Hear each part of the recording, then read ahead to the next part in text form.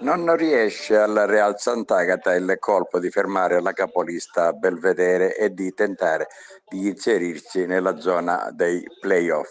Un 1-2 che consente alla squadra del Belvedere di mantenere la testa della classifica e i punti di vantaggio sulla seconda, la rossanese, quindi sei punti di vantaggio sulla rossanese e quindi di guardare eh, un po' con più serenità al futuro eh, dopo il momento che era culminato con la sconfitta interna contro la Juvenilia. Eh, due vittorie consecutive in trasferta riportano quindi la squadra del Belvedere a guardare eh, certamente alla parte finale del campionato con più fiducia. Eh, sono di Mandarano i gol del